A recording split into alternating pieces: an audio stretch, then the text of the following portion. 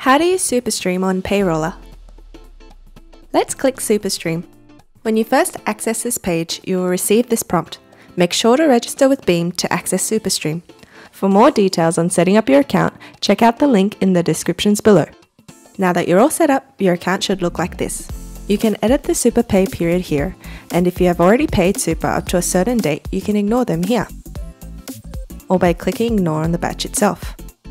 If you've accidentally clicked ignore on a batch, you can go to the ignored tab and simply delete the batch and it should go back, ready to submit. On each batch, you can indicate that you'd like to pay either via direct debit or BPay. You can also view, remove, or even edit employees. Okay, let's try submitting our first batch. When submitting a batch, sometimes you will receive an error. If you do receive an error, you won't be able to proceed until the error is fixed. So let's indicate a super for Daenerys.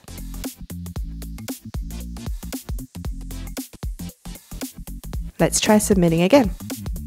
Now once you've fixed your errors, you may also receive a warning like this. You can submit the batch on a warning, but it's best to fix it up right away to prevent any issues further down the track. Now that we've finally fixed up all the issues, we can submit and proceed. Success! Let's check it out over here. Here you can double check the employees being paid and also view the progress of the batch. Once you have submitted the batch, the status will indicate awaiting payment. Once payments have been received by the nominated fund, the status will change to sent to fund. If the employee is no longer with the super fund and you have already sent the payment, you will receive a status like this. Payments could also be cancelled if there is a lack of funds in your bank account. And that's it. If you have any questions, please leave a comment below. Happy payrolling!